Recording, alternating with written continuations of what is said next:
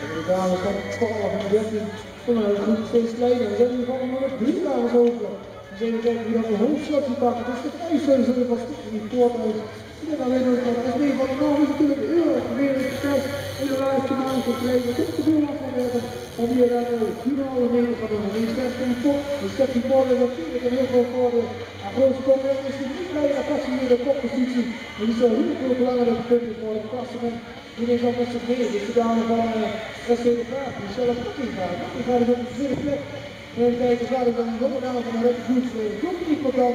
Ze moeten niet doen met een 20 jaar in ieder geval sterk rijden. En niet snel goed genoeg om het te gaan doen met te gaan houden met de eerste plek.